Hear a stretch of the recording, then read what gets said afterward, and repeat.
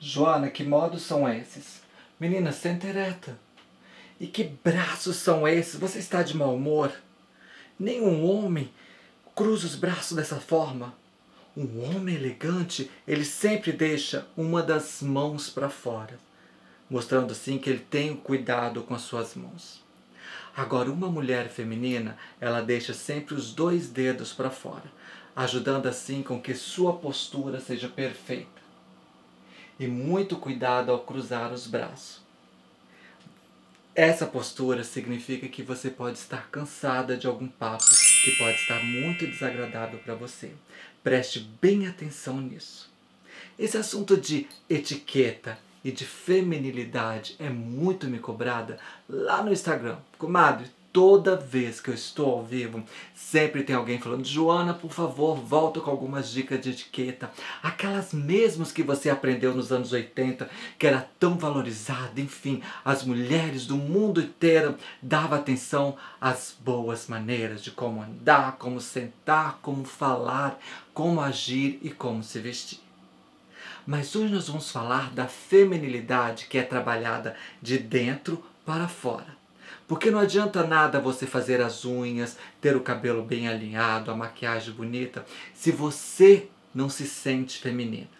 Agora, você não pode fazer nada, uhum, nada mesmo, simplesmente para agradar alguém, porque alguma pessoa está falando para você: senta direito, postura reta, cruza os braços. Nada disso vai adiantar se você não começar a trabalhar dentro de você. Uma mulher feminina é muito mais do que o feminismo. Sim, muitas pessoas estão confundindo muito sobre o feminismo com uma mulher feminina. Uma mulher feminina ela pode ser feminista. Por exemplo, aqui na Islândia, o direito das mulheres é igualzinho ao dos homens. As grandes empresas, ela tem que ter a mesma quantidade de mulheres quanto homens no topo da chefia delas. Não pode ter, por exemplo, quatro homens e duas mulheres chefes. Se tem, tiver quatro homens, vai ter quatro mulheres chefes também. Isso aí é um feminismo que foi lutado há anos a anos. Então, feministas, se você não gosta desse tipo de vídeo onde a gente fala de postura, onde trabalhar o nosso eu para nos tornarmos mais femininas, do mesmo jeito que eu fui ensinada, sim, eu fui educada para ser uma mulher feminina. e por incrível que pareça, ser feminina não significa ser sensível. Não significa falar assim, não, não é assim. Uma mulher feminina, ela é sim forte. Uma mulher feminina, ela é sim determinada. Uma mulher feminina, ela sabe onde ela quer chegar. Uma mulher feminina, ela não aceita migalhas. Uma mulher feminina, ela é ambiciosa sim, ela enxerga longe, ela consegue ver de longe o tipo de parceiro que ela quer para a vida dela. A mulher feminina, ela consegue saber o tipo de macho que ela quer ter na cama dela e que também pode ser o tipo do pai que ela procura para os filhos dela. Então, senhoras feministas, preste bem atenção no que eu vou falar hoje. E eu também, eu já aviso para você, se você não gosta desse tipo de vídeo, até ó, pode assistir outros vídeos aqui no canal, que, que eu tenho certeza que um desses você vai gostar. Agora, se você tá na dúvida, igualzinho eu estava antes de entender o que, que era ser uma mulher feminina, preste atenção, senta aí, já clique em gostei que vem dicas muito boas para você porque a minha tutora disse para mim que eu teria que trabalhar de dentro para fora. Que uma mulher feminina, ela não pode ser insegura. A insegurança é muito ruim para uma mulher. Uma mulher segura de si, ela sabe muito bem onde ela quer chegar. Ela conhece os seus valores e os valores daquele parceiro que ela procura quando se fala de relacionamento.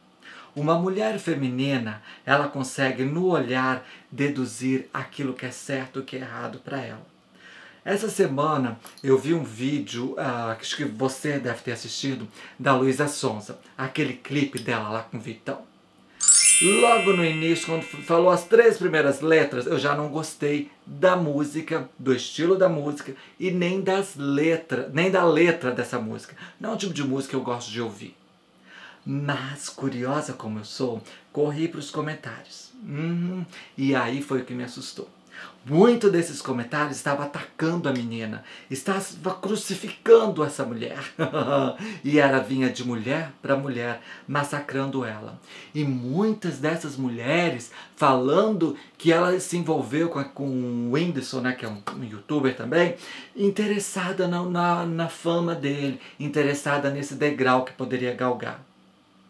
Só que muitas dessas mulheres não participavam, eu acredito que a maioria delas não participavam do cotidiano deles, não sabe o que realmente acontecia lá. Mas uma coisa eu já aviso para você. Ser casada ou conviver com alguém que sofre de depressão não é fácil não, tá? Então eu acho que a Luísa Sonza não foi tão errada não. Mas em questão da letra da música eu não gostei. Agora, essa história de mulher atacando a outra mulher é muito ruim. Essa mulher que ataca a outra, ela não é segura dela mesma.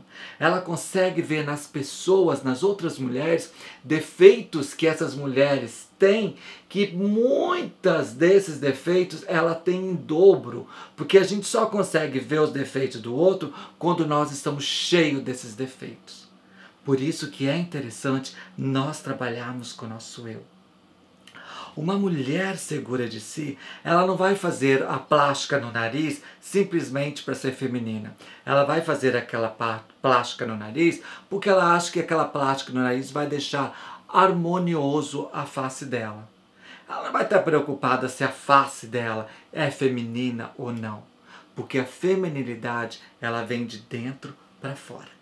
Quando você trabalha com a sua feminilidade, ela sozinha vai falar para todos ao redor que você é uma mulher feminina. E não adianta confundir, achar que você vai ter que ser toda cocotinha, toda falando delicadamente, com voz macia, falando igual uma boneca, que isso não é feminismo. Isso não é ser feminina.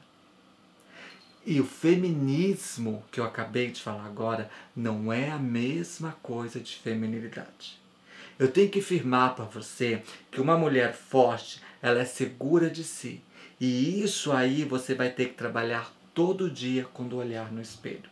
Você vai ter que falar para você que, que você está tudo bem com você mesmo. Independente de quando você tiver que enfrentar um problema, como a Luísa Sons enfrentou. Sim, eu posso até não gostar desse tipo de música, mas agora eu não posso chegar aqui para você e ficar criticando a mulher Luísa Sonza. Eu não posso usá-la como exemplo para mim, porque eu não sou nem fã dela como cantora. Tá entendendo a diferença de uma crítica? Agora, eu ficar procurando meios e meios e meios para magoar uma outra mulher, isso é típico de mulheres inseguras. Agora, quando a gente está segura de si, que a gente sabe onde que quer, nós vamos comedir sim nossos gestos. Mulheres que gesticulam muito, que movem muito, elas querem chamar atenção para outras coisas. Falar alto então é um tormento para uma mulher feminina. Agora, nós sabemos que tudo isso você pode fazer. Você pode gesticular, você pode falar alto, você pode entrar numa sala de reunião gritando. Sim, porque você é livre. Você não tem que fazer nada para agradar ninguém. Mas quando você trabalha a sua feminilidade, essas coisas de gesticular muito, ela vai se tornar fútil para você. Essa história de você chegar numa sala de reunião gritando, falando alto, vai, vai soar meio estranho para você.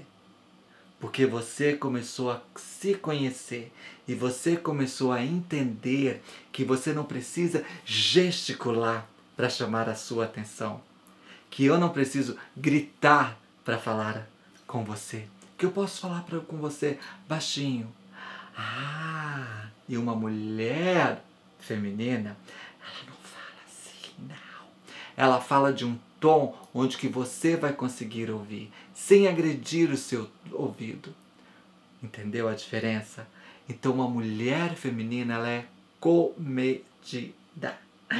Joaninha, mas você gesticula, gesticula. Sim, eu gesticulo muito. Principalmente quando eu estou atuando aqui em frente à câmera. Eu gosto dessa mulher estrabelhada. Porque ela é o extremo daquilo que eu sou. Trabalhei minha feminilidade durante um bom tempo da minha vida. para que eu pudesse me conhecer muito bem. E quando você se conhece, você consegue entender o externo. E por que, que eu falei do início até o fim? Se conhecer e trabalhar a sua feminilidade. Porque quando alguém chega para você e fala: Que voz de homem você tem? Nossa, o seu rosto é muito masculino, a sua pele é muito feia, as suas mãos é mãos de homem, o seu corpo é um corpo feio essas coisas não vão te atingir, porque você já conhece o seu eu, você já entende a mulher que você é. E quando você conhece a mulher que você é, esses comentários fúteis não te atingem. Da mesma forma que não pode ter atingido a Luísa Sonza. Mas Joaninha, você acabou de falar que você não gosta do trabalho dela. Bom, eu não gosto da música dela porque não é o tipo de música que eu aprecio ou que eu coloco na minha vitrolinha e gosto de ouvir. Não. Uh -uh. Mas eu respeito ela como mulher, respeito ela como artista e respeito a força, a garra e a coragem que ela tem. Ela está fazendo a carreira dela e ela está lutando muito. E mulheres determinadas, fortes é o tipo de mulher que eu admiro. Então, sim, eu tiro o chapéu para ela nesse quesito de ser forte, determinada, segura e ir à luta. Independente se eu, Joana, estou gostando ou não dela, ela está lá batalhando, fazendo a história dela. E é isso que é ser uma mulher feminina. É uma mulher que ela conhece o seu eu e sabe aonde que ela quer chegar. Você precisa saber onde que ela quer chegar. E você precisa saber se você quer mais vídeos como esse. Então eu entendo muito que é quando você clica em gostei, tá? Quando você curte muito aqui, eu venho com mais dicas como essa para você. Ah, nós falamos de trabalhar o nosso eu. Caso esse vídeo tenha, é bem aceito para você, eu vou ensinar, vou ensinar, eu vou dar as dicas para você de como a gente trabalha o nosso eu, Aí depois nós vamos chegar no externo, de como deixar o eu e o externo feminino, que é diferente de feminismo. E que ser feminina não é uma mulher toda quebrada. Hum, hum, hum, uma mulher feminina, ela é forte, ela é determinada e ela sabe onde ela quer chegar. Escreva isso aqui dentro, tá? E eu volto amanhã. Curte esse vídeo que eu tenho dicas, tem tanta coisa para te ensinar que você vai amar. Tchau!